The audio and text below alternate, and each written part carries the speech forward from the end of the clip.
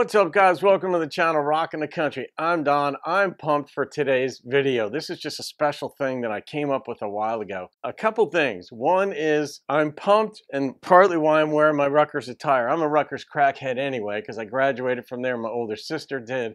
And tonight, as of the time of this recording, Rutgers is playing Clemson in our opening game in the NCAA March Madness tournament. So those of you who are into college sports, finally, after 30 years, we're back in the tournament. But we play Clemson, and I have a very special fondness for Clemson because I've got like two surrogate daughters, but I've got like another half surrogate daughter. Her name is Caroline. I'm very close with her parents and her other sister, and they live in South Carolina, and they went to Clemson.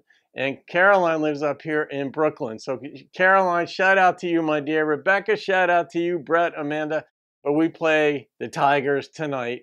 But I have a special place in my heart just because of this beautiful family that I've been close with for a long time.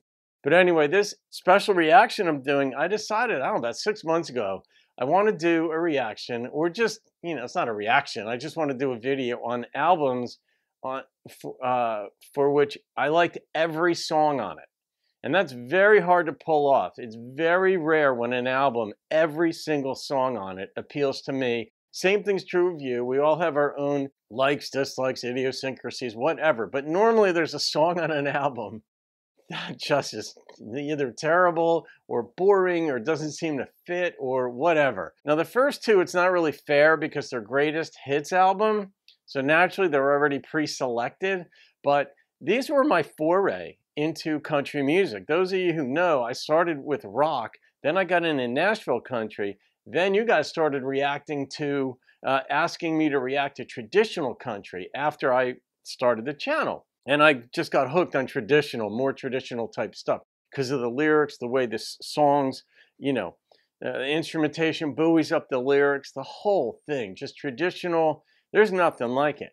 And then when you put headphones on and you just sit with the purpose of making comments, which takes you to a whole different space of intensity with the song and a relationship that you form with that song and the experience, it's second to none.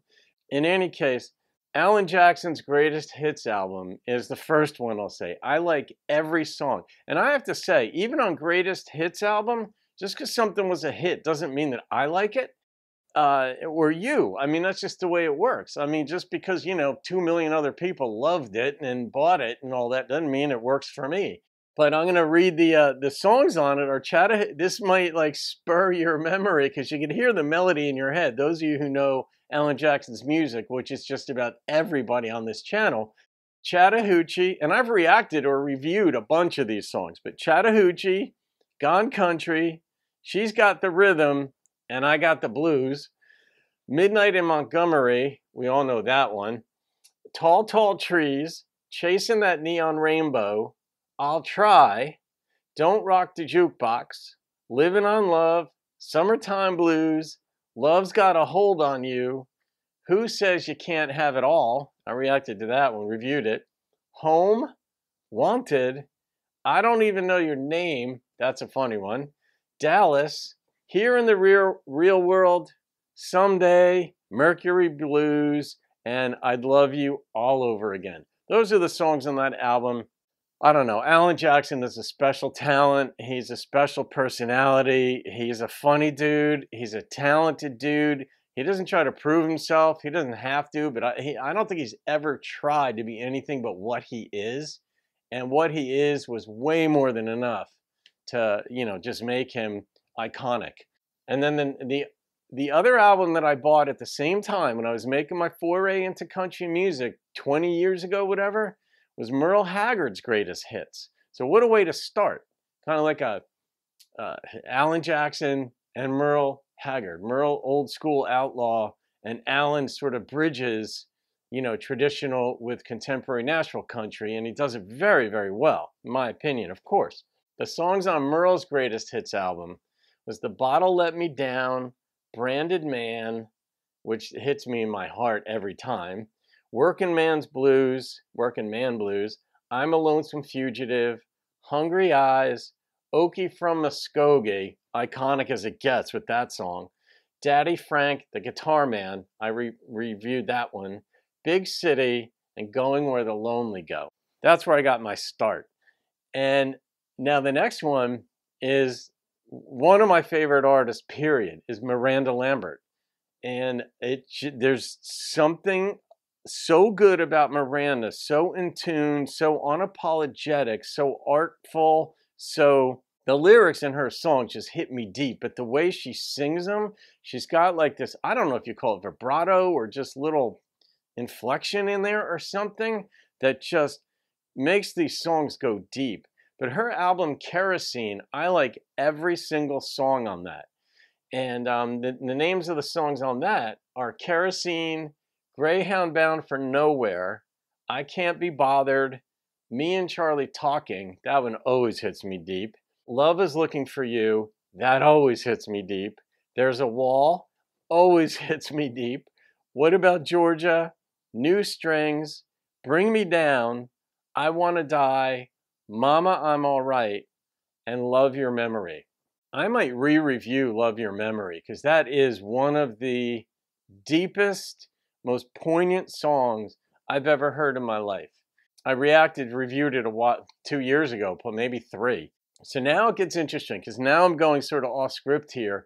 And the name of the channel, Rock into Country, like I went from rock into country. That was how I got into country. So some of the other albums that I like are every song on it are rock albums, but I guarantee it some of these albums, well, all these albums you've heard of, but you might even like them just as much as I do.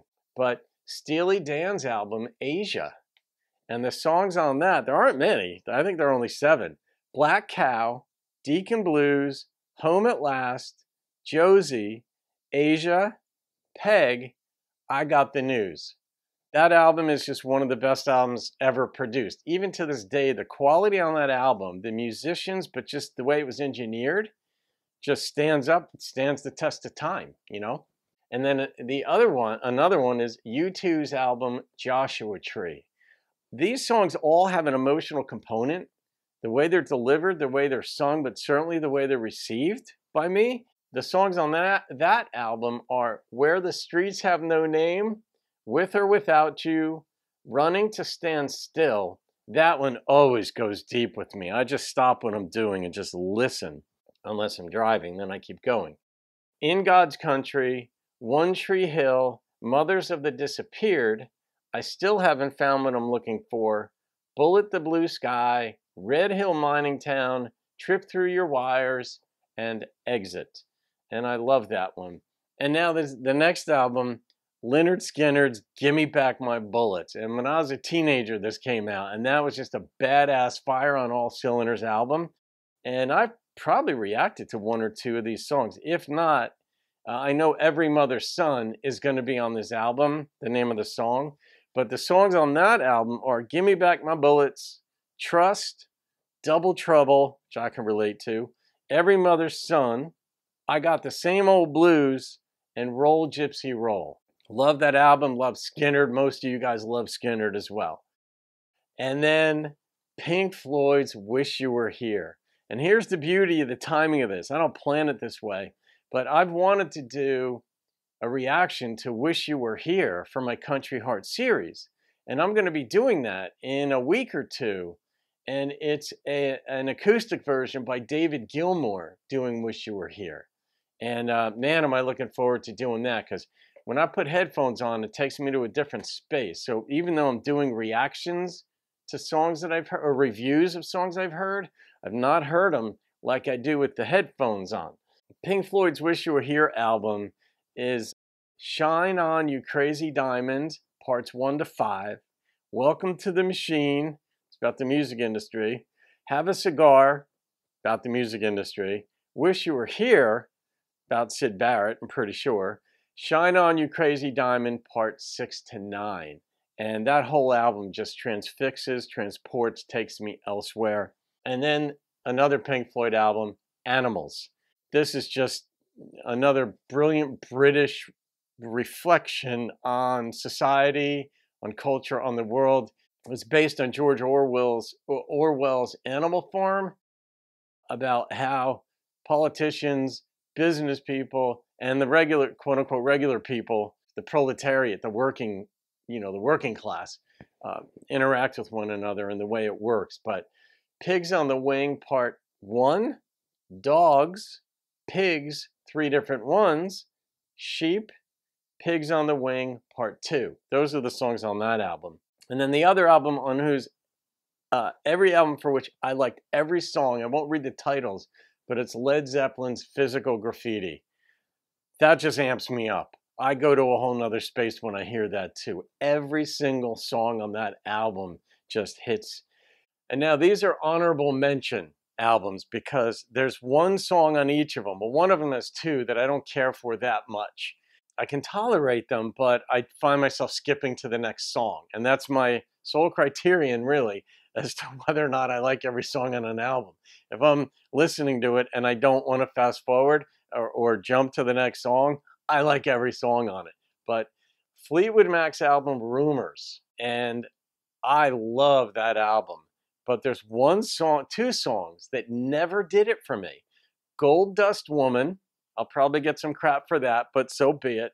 And Silver Springs. Neither of those songs move me in any deep way. Maybe that'll change in 10 years, maybe not. But the other songs on it are just phenomenal. And then the Grateful Dead's album, Go to Heaven. I love that album, uh, except one song that never worked for me Lost Sailor. Just never did it. So, Deadheads out there, fire away, but I'm sure there are some Dead songs that you're not crazy about too, even Deadheads. And then the final honorable mention is the Allman Brothers album, Brothers and Sisters.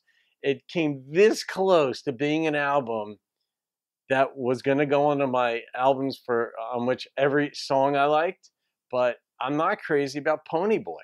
Was never crazy about it. I know the song, I've heard it, I'll listen to it, but it just never completely did it for me.